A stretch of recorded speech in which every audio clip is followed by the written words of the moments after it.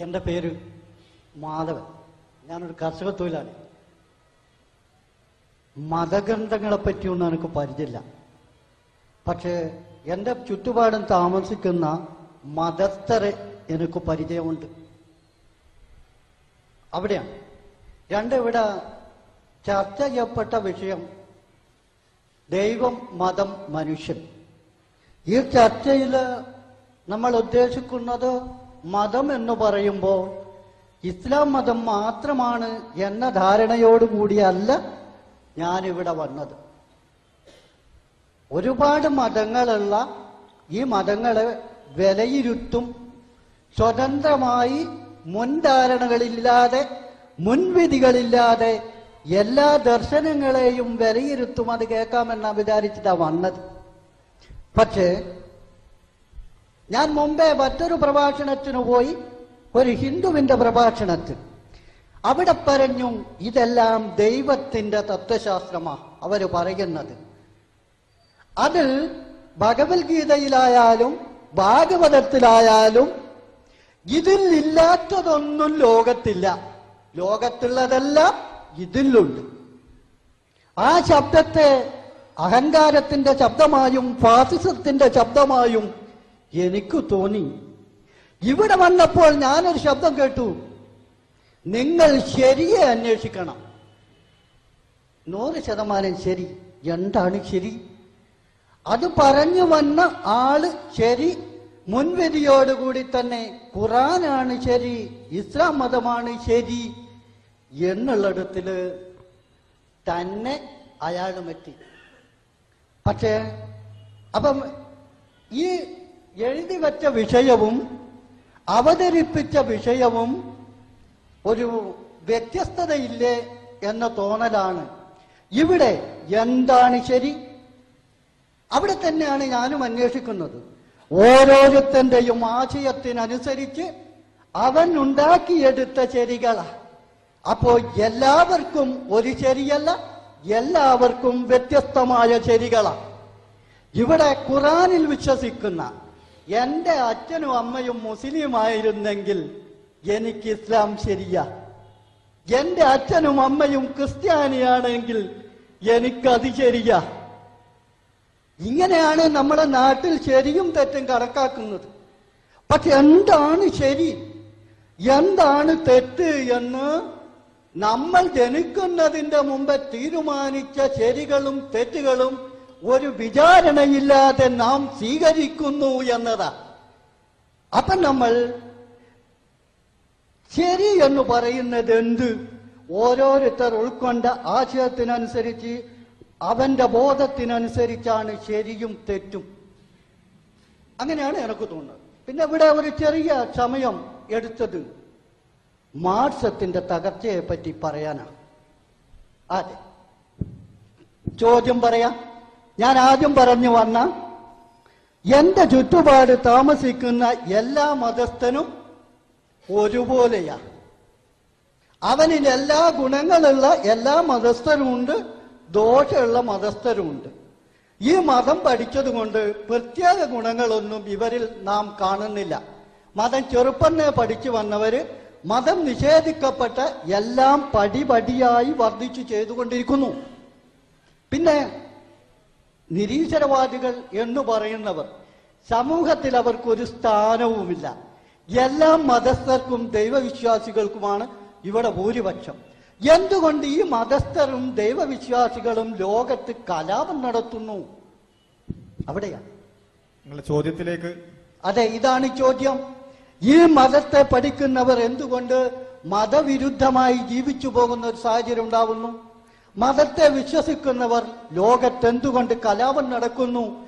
ഒന്നുകൂടി ഈ പടച്ച തമ്പുരാൻ പടച്ച മനുഷ്യൻ ഇന്നും കിടപ്പാടമില്ലാതെ ഭക്ഷണം കഴിക്കാൻ സാധിക്കാതെ ലോകത്ത് ഒരുപാട് സ്വാതന്ത്ര്യമില്ലാതെ ജീവിക്കുന്ന ഒരു സമൂഹത്തെയും പടച്ച തമ്പുരാന് കാണാൻ സാധിക്കുന്നില്ലാലോ എന്ന ഒരു വേദനയുമാണ്.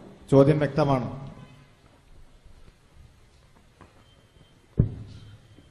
ബഹുമാനരായ സുഹൃത്ത് മാധവന്റെ ചോദ്യം. ഒന്നാമത്തേത് എന്തുകൊണ്ടാണ് ഈ മതക്കാരെല്ലാം കലാപത്തെ കലാപകാരികളാകുന്നത്? രണ്ടാമത്തേത് എന്തുകൊണ്ടാണ് ദൈവം സൃഷ്ടിച്ച മനുഷ്യർ ഇങ്ങനെ വ്യത്യസ്തരായി കിടപ്പാടമില്ലാതെ പീഡനം അനുഭവിക്കുന്ന സ്വാതന്ത്ര്യം അനുഭവിക്കാത്ത ആളുകളായി തീരുന്നത് അതിനനുബന്ധമായിട്ടാണ് അദ്ദേഹം ആദ്യം പറഞ്ഞ കാര്യങ്ങൾ പറഞ്ഞത്. ഓരോരുത്തർക്കും ഓരോ ശരികളുണ്ട്. എന്ന അദ്ദേഹത്തിന്റെ വാദം ഞാൻ അംഗീകരിക്കുന്നു. ഓരോരുത്തർക്കും ഓരോ ശരികൾ ഉണ്ടാകാം പക്ഷെ അത് ആത്യന്തികമായ ശരിയായിക്കൊള്ളണമെന്നില്ല. അവിടെയാണ് നാം യഥാർത്ഥ ശരി അന്വേഷിക്കേണ്ടത്. തീർച്ചയായും എന്റെ സംസാരത്തിൽ ഫാഷിസം ദർശിക്കുന്ന ആളുകൾക്ക് ദർശിക്കാം. ഞാൻ പറഞ്ഞു പരിശുദ്ധ ഖുർആൻ ദൈവിക ഗ്രന്ഥമാണ്. അത് പടച്ചവന്റെ അടുത്ത് നിന്നുള്ള ഗ്രന്ഥമാണ് പടച്ചവന്റെ വചനങ്ങളാണ്. ആ വചനങ്ങൾ മനുഷ്യരുടെ കൈകടത്തലുകൾ നടത്താ നടത്തിയിട്ടില്ലാത്ത വചനങ്ങളാണ്. ഇത് ഞാൻ പറയുമ്പോ ഇത് ഞാൻ അടിച്ചേൽപ്പിക്കുകയല്ല. മറിച്ച് നിങ്ങൾക്ക് പരിശോധിക്കാം പഠിക്കാം. നിങ്ങൾക്ക് പരിശോധിച്ച് പഠിച്ച് ബോധ്യമെങ്കിൽ സ്വീകരിക്കാം. ആ പരിശോധിക്കുവാനും പഠിക്കുവാനും ബോധ്യമെങ്കിൽ സ്വീകരിക്കുവാനും വേണ്ടി പറയാൻ. അത് പറയുന്നത് എങ്ങനെയാണ് ഫാഷിസമായി തീരുക? തീർച്ചയായും സുഹൃത്തിന്റെ സംസാരങ്ങളിൽ നിന്ന് ഏതൊക്കെയോ തരങ്ങളിലുള്ള ചില പ്രത്യയ ശാസ്ത്രങ്ങൾ. ആ പ്രത്യയ ശാസ്ത്രങ്ങളിൽ അദ്ദേഹം വിശ്വസിക്കുന്നു. ഏതാണെന്ന് വ്യക്തമാണെങ്കിലും ഇല്ലെങ്കിലും. പക്ഷേ തിരിയുന്നവർക്ക് വ്യക്തമാണ് താനും. വേറെ അത് ഞാൻ പറയുന്നില്ല. പക്ഷേ ഈ പ്രത്യയ ശാസ്ത്രങ്ങൾ ശരി എന്ന് വിശ്വസിക്കാൻ ഒരാൾക്ക് സ്വാതന്ത്ര്യമില്ലേ? അല്ല എന്ന് വിശ്വസിക്കാൻ ഒരാൾക്ക് സ്വാതന്ത്ര്യമില്ല. ഉണ്ട്. മുതലാളിത്തം ശരിയാണെന്ന് എനിക്ക് വിശ്വസിക്കാം. മാർക്സിസമാണ് സത്യമെന്ന് മാധവന് വിശ്വസിക്കാം. ഇതൊന്നുമല്ല സത്യം. മറ്റേതെങ്കിലും ഒരു ഭൗതിക പ്രത്യയ ശാസ്ത്രമാണ് നിയോ മാർക്സിസമാണ് ശരി എന്ന് വേണമെങ്കിൽ മറ്റൊരാൾക്ക് വിശ്വസിക്കാം. പക്ഷെ എല്ലാം ശരിയാകുമോ? സ്വകാര്യ സ്വത്ത് നിലനിൽക്കേണ്ടതാ നിലനിന്നാലേ പുരോഗതി ഉണ്ടാകൂ എന്ന് പറയുന്ന മുതലാളിത്തവും സ്വകാര്യ സ്വത്തിന്റെ നിഷ്കാസനത്തിലൂടെ മാത്രമേ മനുഷ്യർക്ക് മോചനമുള്ളൂ എന്ന് പറയുന്ന കമ്മ്യൂണിസവും എങ്ങനെയാണ് ഒരേപോലെ ശരിയാവുക? ശരിയാവില്ല. ഏതോ ഒന്നാണ് ശരി.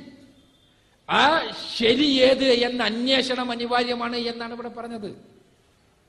അവിടെ തീർച്ചയായും തീർച്ചയായും തുറന്ന മനസ്സ് എന്ന് പറഞ്ഞാൽ അതിന്റെ അർത്ഥം എല്ലാം എല്ലാം തെറ്റെന്നോ എല്ലാം ശരിയെന്നോ അംഗീകരിക്കലാണ് എന്നുള്ളൊരു ധാരണയുണ്ട്. ആ ധാരണ തന്നെ കാപട്യമാണ്.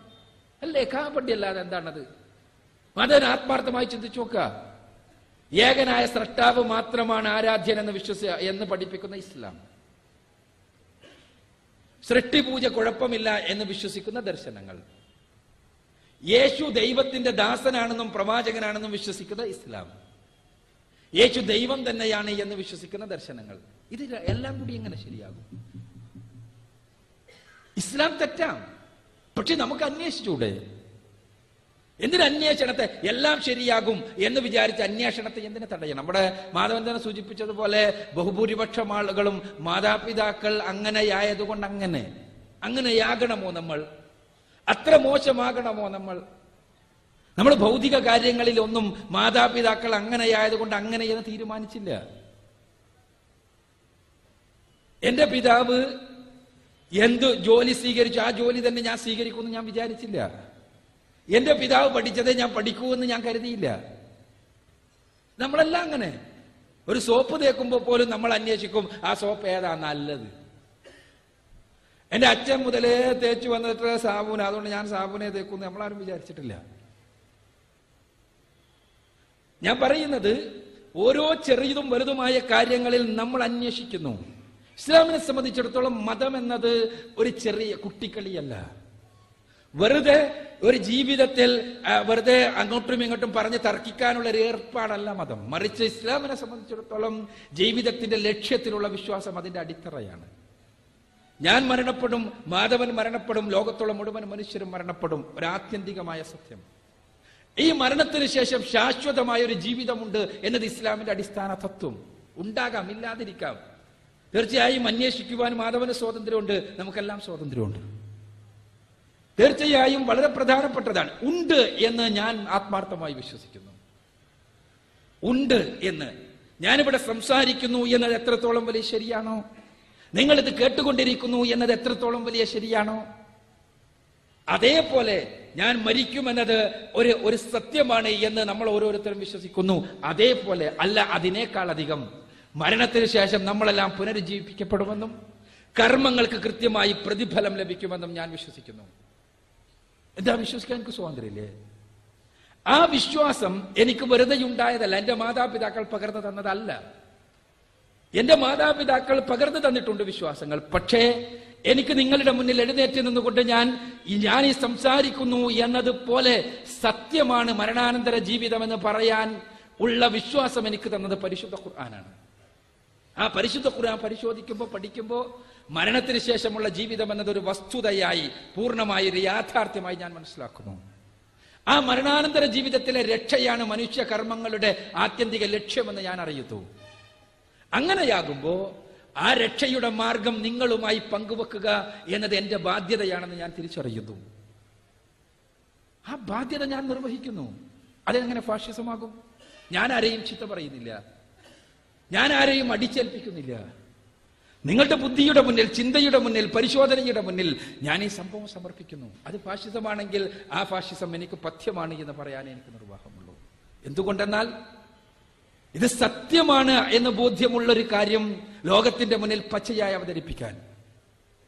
തീർച്ചയായും തർക്കങ്ങൾ ഉണ്ടാകുമ്പോൾ എളുപ്പമുള്ള മാർഗ എല്ലാം ശരി എന്നുള്ള തത്വത്തിൽ എത്തിച്ചേരാന്നുള്ളത് വളരെ എളുപ്പമാണ്. നമ്മൾ തർക്കിക്കാന്ന് വിചാരിക്കുക രണ്ടുപേർ രണ്ടും രണ്ടും നാലാണെന്ന് ഒരാൾ. രണ്ടും രണ്ടും അഞ്ചാണെന്ന് വേറൊരാൾ. ഭയങ്കര തർക്കം. അപ്പൊ ഒരു വന്നിട്ട് പറയാ എന്തുകൊണ്ട് ഈ തർക്കം നമുക്കൊരു കോംപ്രമൈസിൽ എത്തിക്കൂടാ? രണ്ടും രണ്ടും നാല്. ശരി. നാലാകാം. അഞ്ചും ചിലപ്പോഴെല്ലാം ആകാമെന്നും സമ്മതിച്ചു കൊടുത്തേക്ക്. എന്താണ് കുഴപ്പോ? അത് സമ്മതിച്ചു എന്താ കുഴപ്പോ? അപ്പൊ രണ്ടും രണ്ടും അഞ്ചിന്റെ ആൾ പറയാന്ന് വിചാരിക്കുക ആ ഞാൻ എനിക്കത് മതി. ഞാൻ അയാൾ പറഞ്ഞത് ശരിയാണെന്ന് സമ്മതിക്കാൻ തയ്യാറാ. പക്ഷെ ഞാൻ പറഞ്ഞത് തെറ്റാണെന്ന് മാത്രം എന്നോട് പറയണത് അയാൾക്ക് അത് ശരിയുണ്ടെങ്കിൽ എനിക്ക് എന്തുകൊണ്ട് ഇത് ശരിയായിക്കൂടാ? തത്വശാസ്ത്രമാണ് പക്ഷെ കണക്കറിയണം എന്ത് പറയും? കണക്കറിയുന്നയാളെ സംബന്ധിച്ചിടത്തോളം എങ്ങനെ സമ്മതിച്ചു കൊടുക്കും? അല്ലേ കണക്കറിയുന്ന ഒരാൾ അയാളെ സംബന്ധിച്ചിടത്തോളം ഒരു നിരക്ഷരനായ അല്ലെങ്കിൽ കണക്കറിയാത്ത ഒരാൾക്ക് പറയാം ആ അതും ശരിയാകാലോ? ആ ശരിയാവാം. എത്ര സുന്ദരം എത്ര വിശാല വീക്ഷണം. എത്ര വലിയ വീക്ഷണം. അയാൾ രണ്ടു രണ്ടു അഞ്ചിന്റെ ആളാ. പക്ഷെ എന്നിട്ട് പോലും അയാൾ മറ്റാളെ നാളെ സമ്മതിച്ചു കൊടുത്തില്ലേ? എത്ര വിശാല വീക്ഷണം പറയാം. പക്ഷെ അത് വിശാല വീക്ഷണമാണോ? ഇവിടെയാണ് ശരി അന്വേഷിക്കണം എന്ന് നമ്മൾ പറയുന്നത്. തീർച്ചയായും ഇസ്ലാം ശരിയാകാം ഹിന്ദുത്വം ശരിയാകാം ക്രൈസ്തവത ശരിയാകാം മാർസിസം ശരിയാകാം ക്യാപിറ്റലിസം ശരിയാകാം ഏതുമാകാം. പക്ഷേ മനുഷ്യർ എന്നുള്ള നിലയ്ക്ക് അന്വേഷിക്കേണ്ടത് നമ്മുടെ ബാധ്യതയാണ്. ഇസ്ലാമിനെ സംബന്ധിച്ചിടത്തോളം ഈ വിഷയാവതരണം എന്ന് പറയുമ്പോൾ ഞങ്ങൾ വിഷയാവതരണം കൃത്യമായിട്ട് കേട്ടോ എന്ന് എനിക്കറിയില്ല. വിഷയാവതരണം വളരെ വ്യക്തമായി സൂചിപ്പിച്ച ചില കാര്യങ്ങളുണ്ട്. മനുഷ്യൻ ദൈവം മതം മനുഷ്യനായിരുന്നു വിഷയം. അതിൽ മനുഷ്യൻ മനുഷ്യന്റെ സവിശേഷതകൾ പറഞ്ഞു. മനുഷ്യന്റെ സവിശേഷതകളിൽ നന്മ തിന്മകൾ ചെയ്യാനുള്ള മനുഷ്യന്റെ കഴിവ് പറഞ്ഞു. അതിൽ നന്മ എന്ത് തിന്മ എന്തെന്ന് വ്യവച്ഛേദിക്കാൻ മനുഷ്യന് കഴിയില്ല എന്ന് പറഞ്ഞു. നന്മയും തിന്മയും വ്യവച്ഛേദിക്കാൻ സാധ്യമല്ലാത്ത മനുഷ്യർക്ക് നന്മ എന്തെന്നും തിന്മ എന്തെന്നും പഠിപ്പിക്കേണ്ടത് പടച്ചവൻ തന്നെയാണെന്ന് പറഞ്ഞു. ആ പടച്ചവൻ പഠിപ്പിച്ചതാണ് മതം എന്ന് പറഞ്ഞു.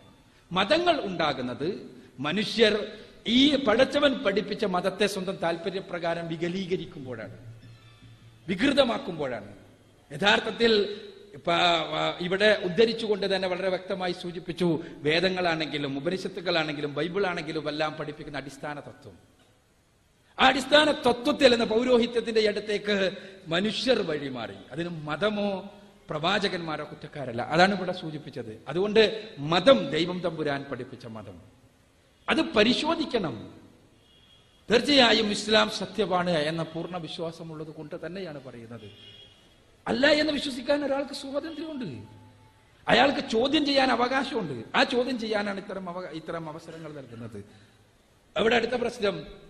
അതിന് ചോദ്യം. തീർച്ചയായും ഇത്തരം തുറന്ന ചർച്ചകൾ ഉണ്ടാകുമ്പോഴാണ് വിഷയങ്ങൾ മനസ്സിലാക്കുക. അതുകൊണ്ട് തന്നെ മാധവനോട് അദ്ദേഹം ഏകദേശം ആ, ആ, ഏകദേശം ഒരു പ്രായമായിരിക്കും എന്നുള്ള ആൾക്കാണ് ഞാൻ പേര് വിളിക്കുന്നത്. അദ്ദേഹത്തോട് വളരെ ആദരവുണ്ട് ഈ വിഷയം ചർച്ച ചെയ്യാൻ വേണ്ടി വിഷയം എടുത്തിട്ട്.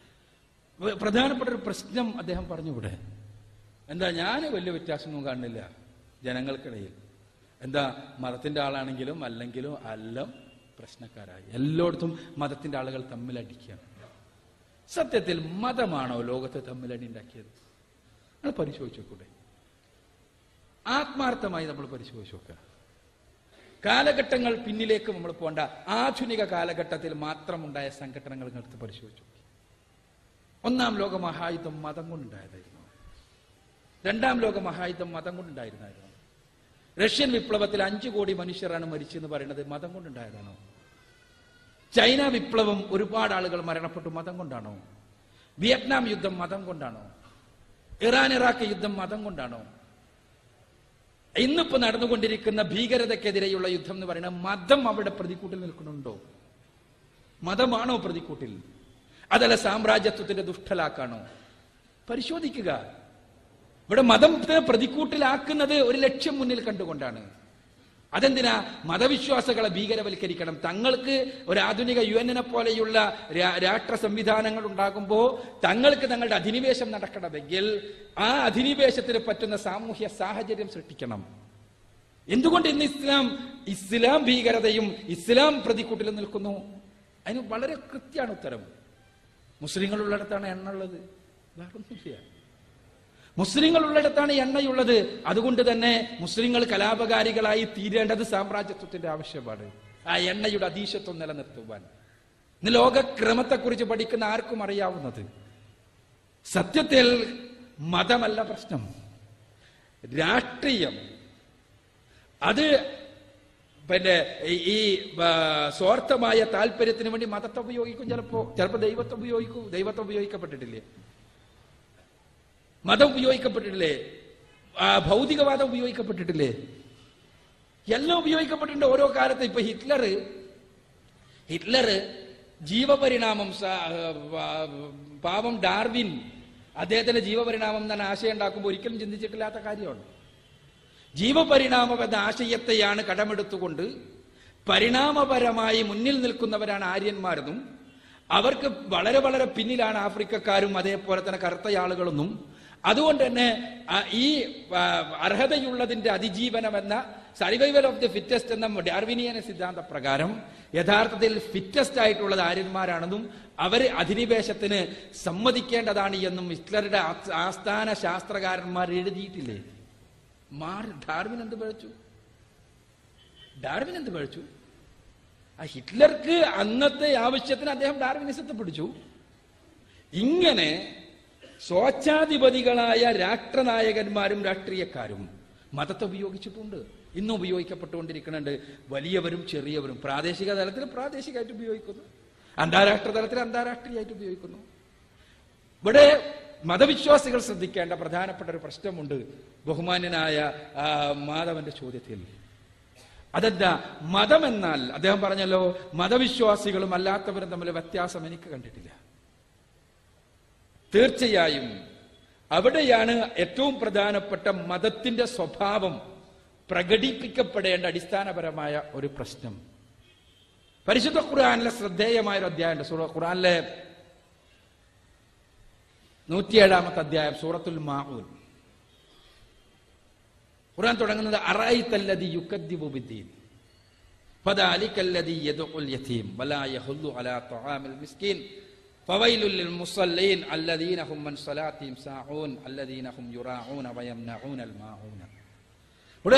തുടങ്ങുന്നത്. മതനിഷേധിയെ നീ കണ്ടുപോകുമെന്ന് ചോദിച്ചു. നമ്മളോട് ചോദിച്ചാൽ നമ്മളെന്താ പറയാ? മതനിഷേധിയെ കണ്ടുപോകുമെന്ന് ചോദിച്ചാൽ ആ ഞങ്ങൾ കണ്ടിട്ടുണ്ട്. യുക്തിവാദി സംഘത്തിന്റെ സ്റ്റേജിൽ വെച്ച് പ്രസംഗിക്കുന്ന ആളെ കണ്ടിട്ടുണ്ട്. ദൈവനിഷേധിയായ ആളെ കണ്ടിട്ടുണ്ട്. മതവിരോധികളായ ആളുകളെ കണ്ടിട്ടുണ്ട്. ഇങ്ങനെല്ലാം നമ്മൾ പറയും. പക്ഷെ ഖുർആന്റെ ഉത്തരം അങ്ങനെയല്ല. ഖുർആൻ ചോദിക്കുന്നത് മതനിഷേധിയെ കണ്ടുപോ നിങ്ങൾ? എന്നിട്ട് ഉടനെ ഖുർആൻ ചോദിക്കുന്നത്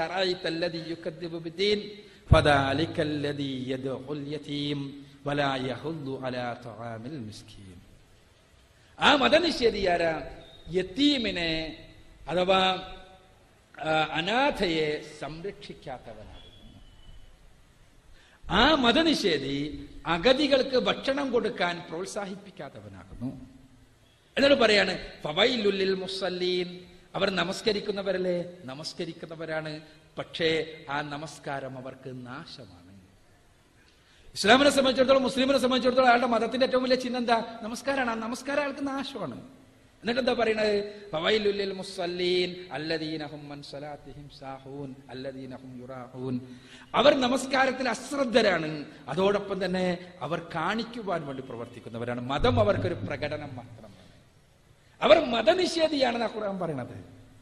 മതം ജീവിതത്തിന്റെ വിശുദ്ധിയായി മാറുന്നില്ലെങ്കിൽ മതം ജീവിതത്തിന്റെ വെളിച്ചമായി തീരുന്നില്ലെങ്കിൽ മതം ജീവിതത്തിന്റെ മാറ്റമായി മാറുന്നില്ലെങ്കിൽ മതം ജീവിതത്തിന്റെ സേവനമായി തീരുന്നില്ലെങ്കിൽ മതം മഗതിക്കുള്ള ഭക്ഷണമായി തീരുന്നില്ലെങ്കിൽ മതം മനാഥക്കുള്ള സംരക്ഷണമായി മാറുന്നില്ലെങ്കിൽ മതം അടിച്ചമർത്തപ്പെടുന്നവന്റെ പ്രയാസത്തിനുള്ള പരിഹാരമായി തീരുന്നില്ലെങ്കിൽ ആ മതം മതനിഷേധമാണ് എന്നാണ് ഖുർആൻ പറയുന്നത്. പലപ്പോഴും എന്റെ സുഹൃത്ത് മാധവനെ പോലെയുള്ളവർ കാണുന്നത് മതത്തിന്റെ കുപ്പായപ്പെട്ട മതനിഷേധികളെയാണ്. അവിടെയാണ് പ്രശ്നം.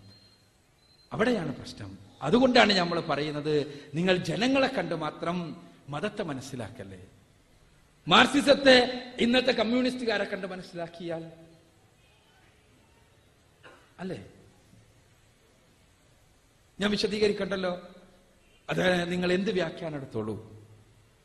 അപ്പോ യഥാർത്ഥത്തിൽ മതത്തെ അറിയാൻ പലപ്പോഴും നമ്മൾ കാണുന്നത് പലപ്പോഴും മതനിഷേധികളെയാണ്. അവർ മാത്രമേ കുപ്പായിട്ടിട്ടുണ്ട്. പക്ഷേ മതം അവരുടെ ജീവിതമല്ല. മതം എന്ന് പറഞ്ഞാൽ ഇസ്ലാമിക വീക്ഷണത്തിൽ മതം എന്ന് പറഞ്ഞാൽ പുറമോടികളല്ല. പുറമോടികൾ അതിന്റെ ഭാഗമാണ്. പക്ഷെ പുറമോടികളെക്കാളപ്പുറം മതം ജീവിതത്തെ സർവേശ്വരനായ തമ്പുരാനുള്ള സമർപ്പണമാണ്. ഇസ്ലാം എന്ന് പറഞ്ഞാൽ തന്നെ സമർപ്പണം എന്നർത്ഥം. പടച്ചവനുള്ള സമർപ്പണം എന്ന് പറയുമ്പോൾ എന്റെ മനസ്സറിയാവുന്ന എന്റെ ഹൃദയം അറിയാവുന്ന എന്റെ പരിമിതികൾ അറിയാവുന്ന എന്റെ പ്രശ്നങ്ങൾ അറിയാവുന്ന എന്റെ പ്രയാസങ്ങൾ അറിയാവുന്ന പടച്ചവൻ. ആ പടച്ചവൻ പറഞ്ഞതനുസരിച്ചുള്ള ജീവിതം. എനിക്കെത്ര സമ്പത്തുണ്ട് എന്നറിയാവുന്ന പടച്ചവൻ. ആ പടച്ചവൻ എന്നോട് കൽപ്പിക്കുകയാണ് നിന്റെ സ്വത്തിന്റെ രണ്ടര ശതമാനം നീ നിർബന്ധമായും പാവപ്പെട്ടവനുള്ള അവകാശമായി നൽകണം. എന്റെ സ്വകാര്യതയിൽ ഞാൻ എന്റെ സ്വത്ത് പടച്ചവൻ എന്നെ ഏൽപ്പിച്ചതെന്ന് ഞാൻ വിശ്വസിക്കുന്ന എന്റെ സ്വത്തിന്റെ നിശ്ചിത ശതമാനം ഞാൻ കൊടുക്കുന്നു. ഇത് എന്റെ മതമാണ്. ഈ മതം മാനവികതയാണ് മനുഷ്യത്വമാണ്. ആ മാനവികത മനുഷ്യത്വം ഉണ്ടാവണമെങ്കിൽ ദൈവിക മാർഗനിർദ്ദേശത്തിലേക്ക് തിരിച്ചു പോകണം എന്നാണ് പറഞ്ഞതിന്റെ ചുരുക്കം. അവിടെയാണ് ബഹുമാനനായ മാധവന്റെ അടുത്ത ചോദ്യം ഉദിക്കുന്നത്. ഈ ലോകത്ത് ഒരുപാട് അസമത്വം. കൂരകളിൽ ജീവിക്കുന്ന മനുഷ്യർ കൊട്ടാരങ്ങളിൽ ജീവിക്കുന്ന മനുഷ്യർ പീഡനങ്ങൾ അനുഭവിക്കുന്ന മനുഷ്യർ അസ്വാതന്ത്ര്യം അനുഭവിക്കുന്ന മനുഷ്യർ അതേസമയം സ്വാതന്ത്ര്യത്തിന്റെ സ്വച്ഛ വായു ശ്വസിച്ച് തിമിർത്ത് ജീവിച്ചു കൊണ്ടിരിക്കുന്ന മനുഷ്യർ. ദൈവം ഇവരെയെല്ലാം ഇങ്ങനെ ഇങ്ങനെ ഈ അസമത്വങ്ങൾ ദൈവം സൃഷ്ടിച്ചതോ? അല്ല. അസമത്വങ്ങൾ മനുഷ്യൻ സൃഷ്ടിച്ചത്. ദൈവം സൃഷ്ടിച്ച മുഴുവൻ ജീവജാലങ്ങളെയും നിങ്ങൾ നോക്കുക. ജീവജാലങ്ങളിൽ വല്ല അസമത്വമുണ്ടോ ദൈവം മനുഷ്യ സമൂഹത്തെ മാത്രമല്ലല്ലോ സൃഷ്ടിച്ചത്. ഹോമോസാപ്പിയൻ എന്നത് ദശലക്ഷക്കണക്കിന് ജീവവർഗങ്ങളിൽ ഒരു ജീവവർഗം മാത്രമാണ്. ജീവവർഗങ്ങളിൽ വല്ല അസമത്വമുണ്ടോ? വല്ല പ്രശ്നമുണ്ടോ? അടിച്ചമർത്തലുകളുണ്ടോ? സ്വാഭാവികമായും ജൈവപ്രക്രിയയിൽ ചിലർ ജീവസന്ധാരണത്തിനു വേണ്ടി ചെറിയ ജീവികളെ തിന്ന് ജീവിക്കുന്നുണ്ട് എന്നുള്ളത് ഒഴിച്ചു നിർത്തിയാൽ അത് ജീവസന്ധാരണത്തിന്റെ സ്വാഭാവിക പ്രകൃതി നിയമം. അല്ലാത്ത എന്താണുള്ളത് ജീവജാലങ്ങളിൽ? ഇല്ല. അവിടെ അസമത്വങ്ങളില്ല. അവിടെ പീഡനങ്ങളില്ല. പ്രയാസങ്ങളില്ല. പക്ഷേ മനുഷ്യൻ മനുഷ്യ ജീവജാലങ്ങൾ അവ പടച്ചവൻ പഠിപ്പിച്ച നിയമങ്ങൾ നിർബന്ധിതമായി മുന്നോട്ട് കൊണ്ടുപോകുന്നു. പരിശുദ്ധ ഖുർആൻ പറഞ്ഞത് അങ്ങനെയാണ്. ഖുർആൻ ഇസ്ലാമിനെ പരിചയപ്പെടുത്തുമ്പോൾ ഒന്നാമതായി പറഞ്ഞ കാര്യം ദൈവം തമ്പുരാനാണ് നിങ്ങൾക്ക് മാർഗദർശനം നൽകുന്നവൻ. നിങ്ങൾക്ക് മാത്രമല്ല എല്ലാറ്റിനും. റബ്ബുനല്ലതി ഹദാ. ഖുർആൻ ഇരുപതാമത്തെ അധ്യായം സൂറത്തു താഹയിൽ അമ്പതാമത്തെ വചനമാണ്. നമ്മുടെ രക്ഷിതാവ് എന്ന് പറഞ്ഞാൽ എല്ലാറ്റിനെയും സൃഷ്ടിക്കുകയും അവയുടെ പ്രകൃതി നൽകുകയും പ്രകൃതം നൽകുകയും അവക്ക് മാർഗദർശനം നൽകുകയും ചെയ്തവൻ. ജീവികൾക്കെല്ലാം അവയുടെ മാർഗദർശനമുണ്ട്. നിങ്ങൾ ഉറുമ്പിനെ കുറിച്ച് നോക്കുക. ഉറുമ്പിന്റെ ഒരു ഉറുമ്പ് കോട്ടകളുടെ ഉറുമ്പിന്റെ പുറ്റ്. ആ ഉറുമ്പിൻ പുറ്റിൽ പോയി നോക്കുക. എത്ര സമർത്ഥമായാണ് ഉറുമ്പുകൾ ആ സാമൂഹ്യ ജീവിതം നയിക്കുന്നത്. പരസ്പരം സഹകരിച്ച് പരസ്പരം സ്നേഹിച്ച് പരസ്പരം കൊണ്ടും കൊടുത്തും അവക്ക് ജീവ ജൈവികമായി നിശ്ചയിക്കപ്പെട്ട രീതിയിൽ. അതിന് ചിലപ്പോ ആ ഒരു ഉറുമ്പിന്റെ കാലാവധി കഴിഞ്ഞാൽ അല്ലെങ്കിൽ ഉറുമ്പിന്റെ ധർമ്മം കഴിഞ്ഞാൽ ആ ഉറുമ്പ് ചാകൽ മുതൽക്ക് ആ ഉറുമ്പിനെ കൊല്ലല് വരെ എല്ലാം ഉണ്ടാകാം. പക്ഷെ അതെല്ലാം ജൈവികമായ പ്രക്രിയകൾ. അവിടെ യാതൊരു അസമത്വമല്ല യാതൊരു പ്രശ്നമല്ല എന്നാ മനുഷ്യനോ? മനുഷ്യന്റെ സവിശേഷത അവന് സ്വാതന്ത്ര്യം നൽകപ്പെട്ടു എന്നതാണ്. ബാക്കി ജീവികൾക്കൊന്നും അവക്ക് സ്വാതന്ത്ര്യം നൽകപ്പെട്ടിട്ടില്ല തെരഞ്ഞെടുപ്പിനുള്ള. അതുകൊണ്ട് തന്നെ അവിടെ ഒന്നും ഒരു അസമത്വമല്ല ഒരു പ്രശ്നമല്ല ഒരു കുഴപ്പമല്ല നമുക്ക് കാട്ടിൽ ദശലക്ഷക്കണക്കിന് ജീവികളുണ്ടല്ലോ. ആ കാട്ടിൽ ഒരു ട്രാഫിക് നിയമം ഒരു പോലീസ് സ്റ്റേഷൻ ഒരു കോടതി ഒരു വിദ്യാഭ്യാസ സ്ഥാപനം ഇല്ലല്ലോ. എന്നിട്ട് അവിടെ എന്താ? ഒരു കുഴപ്പമില്ല കാട്ടിൽ പണ്ട് മനുഷ്യൻ വരണേന് മുമ്പേ ഉണ്ട് ഇവിടെ മാമോത്തുകൾ ദിനോസറുകൾ അല്ലെ? വലിയ വലിയ ജീവികൾ. അവയെല്ലാം തിന്നു കുടിച്ചു രസിച്ചു രമിച്ചു വിസർജിച്ചു ജീവിച്ചു. അവ ഓസോൺ പാളിക്ക് തൊള്ളണ്ടാക്കിയോ ഇല്ല. അവ ഗ്രീൻ ഹൗസ് എഫക്ട് ഹരിത ഗേഹ പ്രഭാവം ഉണ്ടാക്കിയോ? ഇല്ല. അവ ഭൂമിയെ നശിപ്പിക്കാൻ ആയുധങ്ങൾ ഉണ്ടാക്കിയോ? ഇല്ല. എന്നാ മനുഷ്യനോ? എന്നാ മനുഷ്യനോ? എന്താ മനുഷ്യനും മറ്റു ജീവികളും തമ്മിൽ എന്താ പ്രശ്നം? നിങ്ങൾ കടലിന്റെ അടിയിൽ നോക്കുക. ഈ ഭൂമിയിലെക്കാളും വലിയ വലിയ വലിയ വലിയ ഭൂമിയിലെ ആനയെക്കാളും എത്രയോ മടങ്ങ് വലിപ്പമുള്ള നീലത്തിമിംഗലം മുതൽ അതിസൂക്ഷ്മ ജീവികളായ ഹൈഡ്ര വരെ ജീവിക്കുന്ന കടൽ. ലക്ഷക്കണക്കിന് ജീവവർഗങ്ങൾ. കടലിൽ വല്ല നിയമമുണ്ടോ? നിയമകൂടമുണ്ടോ? ഭരണകൂടമുണ്ടോ? വല്ല പോലീസുണ്ടോ? പട്ടാളമുണ്ടോ? കോടതി ഉണ്ടോ ഒന്നുമില്ല. പക്ഷെ അവിടെ വല്ല കുഴപ്പമുണ്ടോ? ഒരു കുഴപ്പമില്ല എന്നാൽ മനുഷ്യന്റെ കുലത്തിൽ നിങ്ങൾ ആലോചിച്ച് നോക്കുക. ഒരു അഞ്ച് മിനിറ്റ് ലോകം മുഴുവനും മനുഷ്യ എല്ലാ യു എൻ എച്ച് പറഞ്ഞിട്ട് ലോകത്തെ എല്ലാ രാഷ്ട്രങ്ങളും അംഗീകരിച്ചിട്ട് ഒരു ഒരു ഒറ്റ നിയമം പാസ്സാക്കാന്ന് വിചാരിക്കുക. അഞ്ച് മിനിറ്റ് നേരം ലോകത്ത് എല്ലാവർക്കും ഇഷ്ടമുള്ളതെല്ലാം ചെയ്യാം. സ്വന്തം ഇഷ്ടമുള്ളതെല്ലാം എല്ലാവർക്കും ചെയ്യാം. അഞ്ച് മിനിറ്റ്. നമുക്കറിയാം ആറാമത്തെ ഒരു മിനിറ്റ് ഈ ദുനിയാവിൽ ഉണ്ടാവില്ല കാരണം അതിന്റെ മുമ്പ് തന്നെ ഈ അഞ്ച് മിനിറ്റിന്റെ ഉള്ളിൽ തന്നെ ഈ ലോകം ചുട്ടു ശാമ്പലായിട്ടുണ്ടാവും കാരണം അയ്യായിരം ഭൂമികളെ നശിപ്പിക്കാൻ ആവശ്യമായ ആയുധങ്ങളുമായിട്ടാണ് നമ്മൾ ഈ ഭൂമിയിൽ ജീവിച്ചുകൊണ്ടിരിക്കുന്നത്. അയ്യായിരം ഭൂമികൾ ഒരു ഭൂമിയൊന്നുമല്ല. നമുക്ക് ആകെ ഇതേപോലുള്ള ഒമ്പത് ഗ്രഹങ്ങളോ എട്ട് ഗ്രഹങ്ങളെല്ലാം ഉള്ളത്. എന്നിട്ട് അതുമല്ല നമ്മുടെ സൗരയൂഥത്തും നമ്മൾ നിൽക്കൂല എന്നാണ് പറഞ്ഞതിന്റെ അർത്ഥം. ഞാൻ പറഞ്ഞു വരുന്നത് എന്നാൽ മനുഷ്യലോകത്ത് ഈ സ്വാതന്ത്ര്യം ഉള്ളത് കൊണ്ട് തന്നെ അവൻ നാഗരികതകൾ സൃഷ്ടിക്കുന്നു അതേപോലെ തന്നെ അധമത്വം ഉണ്ടാക്കുന്നു. ഈ അധമത്വത്തിന്റെ ഭാഗമാണ് അധീശത്വം. അവിടെ അതീശത്വം ഈ സ്വാതന്ത്ര്യത്തിന്റെ സ്വാഭാവികമായ പരിണതിയാണ്. ആ സ്വാതന്ത്ര്യത്തിന്റെ സ്വാഭാവികമായ പരിണതിയാണ്. അതുകൊണ്ട് തന്നെ ആ അധീശ്വത്വം ഇല്ലാതെയാകണമെങ്കിൽ ആ പീഡനങ്ങൾ ഇല്ലാതെയാകണമെങ്കിൽ പ്രയാസങ്ങൾ ഇല്ലാതെയാകണമെങ്കിൽ മനസ്സിന് സമാധാനം ഉണ്ടാകണമെങ്കിൽ മനുഷ്യർ ദൈവിക മാർഗനിർദ്ദേശം അനുധാവനം ചെയ്യണം. ഉറുമ്പിന്റെ കോളനിയിൽ എന്തുകൊണ്ടൊരു പ്രശ്നമല്ല ഉറുമ്പ് നിർബന്ധിതമായി ദൈവിക മാർഗനിർദ്ദേശം അനുധാവനം ചെയ്യുന്നു. മനുഷ്യന് സ്വാതന്ത്ര്യം നൽകിയതുകൊണ്ട് അവിടെ കുഴപ്പം അവിടെ മനുഷ്യനെ കുഴപ്പമില്ലാതിരിക്കണമെങ്കിൽ എന്ത് വേണം? അവൻ ബോധപൂർവം ദൈവിക മാർഗനിർദ്ദേശം അനുധാവനം ചെയ്യണം. ചെയ്യാൻ തയ്യാറായാൽ തീർച്ചയായും കുഴപ്പമുണ്ടാവില്ല. അതിനാണ് നിയമങ്ങൾ ദൈവം തമ്പുരാൻ അവതരിപ്പിച്ച നിയമങ്ങൾ. അതുകൊണ്ട് എനിക്കെന്റെ ബഹുമാന സുഹൃത്തിനോട് പറയാനുള്ളത് ഈ വിഷയങ്ങൾ പഠനത്തിന് വിധേയമാക്കണം. നമ്മൾ വളരെ കാഷ്വലായി എല്ലാവരും ഇങ്ങനെ എല്ലായിടത്തും ശരി എന്ന് പറയുന്നുണ്ട്. അതുകൊണ്ട് അത് ആർക്കും സ്വാതന്ത്ര്യമുണ്ട് ഞാൻ വിചാരിച്ചത് ശരി എന്നതിനപ്പുറത്ത് ശരി അന്വേഷിക്കുക.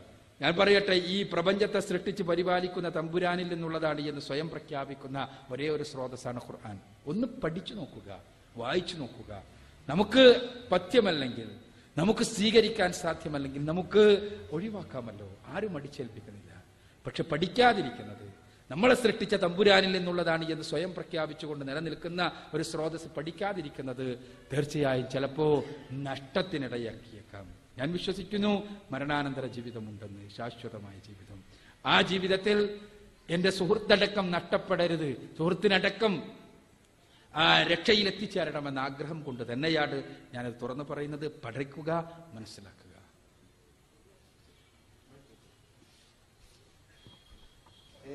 പറഞ്ഞതിൽ നിന്ന് ഞാൻ ഒരു മതത്തെ അല്ല ഉദ്ദേശിച്ചത്. ഒരു ഇസ്ലാം മതത്തെ അല്ല ഉദ്ദേശിച്ചത്. എല്ലാ മതത്തെയാണ്. രണ്ട് പറഞ്ഞു വന്നപ്പോൾ ഈ ഭരണകൂടം നിലനിൽക്കുന്നത് കൊണ്ട് മനുഷ്യൻ ഉണ്ടാക്കിയ ഭരണവ്യവസ്ഥ നിലനിൽക്കുന്നത് കൊണ്ടാണോ ഈ പുസ്തകങ്ങൾ പറഞ്ഞു വന്നപ്പോൾ മനുഷ്യൻ ഉണ്ടാക്കിയ ഭരണവ്യവസ്ഥ നിലനിൽക്കുന്നത് കൊണ്ടാണോ മനുഷ്യനിൽ ഇത്തരം പ്രശ്നങ്ങൾ ഉണ്ടാവുന്നത് എന്ന ഒരു സംശയം നിലകും